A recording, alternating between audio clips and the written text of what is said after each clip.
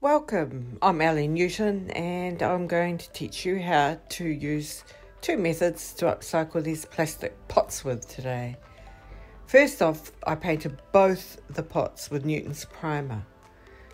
I then made these decals out of crafter's resin.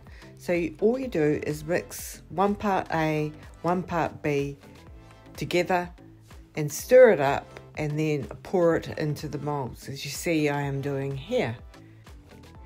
This crafter's resin is a no VOC, no nasties added product.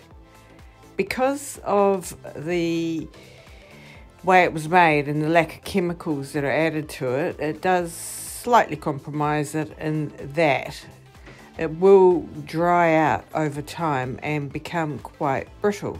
The way to combat this is to actually seal over it as soon as you can, either with chalk paint, varnish, or whatever you are going to be painting over the top of it, and that will prevent the liquids escaping and hopefully make it last for a good long time.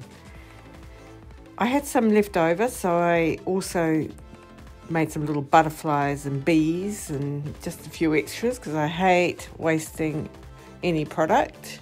And I'll be using these on another project. They actually turned out quite beautifully. And I'm making a, a little wall hanging thing, would you believe, from them.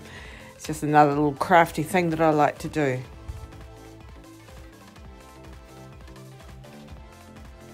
This was about 48 hours later. The molds come out really easily and they were still slightly flexible. So that's really good time to take them out eh, if you want to curve them around surfaces, which I did slightly want to curve the lavenders around on the surface. The glue I used on these was contact glue. It's a really good strong sticking glue. It works by contact. So you basically put it onto the surface you are adhering to and also onto the decals. Let it get tacky and then push them on. And it's a good strong bond. It doesn't look very good what you can see at the moment, but this is all going to be painted up and you'll be so surprised how beautifully it comes out. Chose to paint this in our beautiful country green. It's a lovely rustic country style green. And I just painted straight over everything with the chalk paint. When it was dry, I brushed on our lavender beeswax polish with our beautiful Italian long-handled wax brush. This gave it the most beautiful natural sheen while giving it 95% protection and sealing. I find brushing it on is the quickest way and easiest way to apply it, but you can apply it with a lint-free rag. To highlight the lavender, I chose our Amethyst Magic Metallic Wax by Prima. Squirted a bit out on my finger and applied it very lightly, brushed it over onto the lavender petals. Such a beautiful colour and it's very complementary to the country green. Next I brushed on our antiquing wax, which is a beautiful dark brown wax. This is going to make the lavenders further pop out. While the wax is still wet, I've been rubbing it back and just leaving it in little spots where I like to leave it, just where I think it looks good. Um, yeah, and this is gives the paint a bit of dimension and a bit of interest as well. Just using a paper towel, but you can use a lint-free rag as well.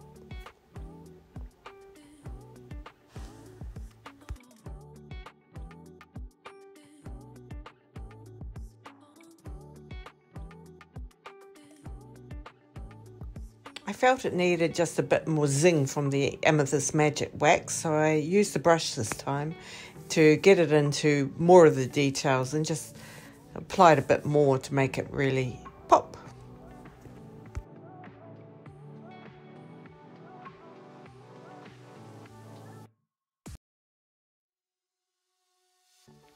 For the next pot, I'm going to try and give it a stone look effect. To do this, I used our Seawash powder. I mixed in one tablespoon of charcoal chalk paint with one tablespoon of our Seawash. Stir it up until it's nice and thick and icing paste like. Then, with our Italian dab brush, dab it on all over the prime pot. Be as rough as you like.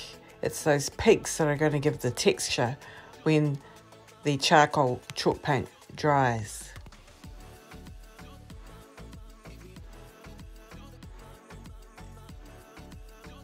After applying the lavender decals to this finish, I dabbed on our beautiful chalk paint in Olivey.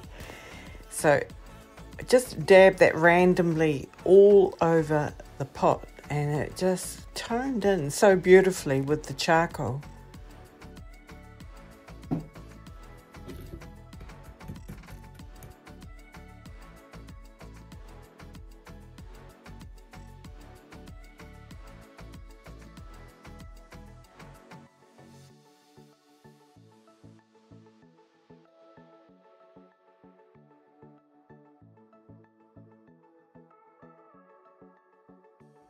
With a paper towel, I just started dabbing all over the whole pot.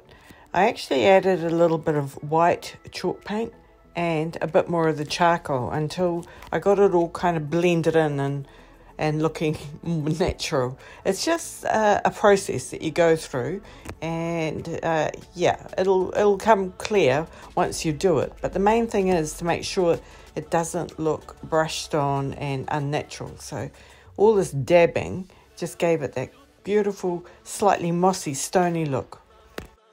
Next, I applied a coat of our lavender beeswax polish. I used our Italian long-handled wax brush to apply it.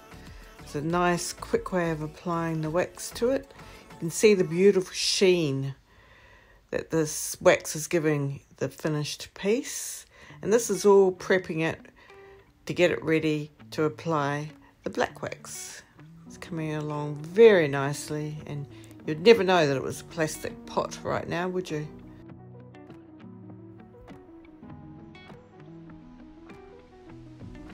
To complete the look, I used our beautiful Newton's Black Wax. Once again, using the wax brush, I used it to push into all the crevices and quickly rubbed it off while it was still wet because if I'd left it just sitting on the surface like that, it would just be completely black. So just gently brushing it all over until I got the effect I wanted. Brushing and wiping.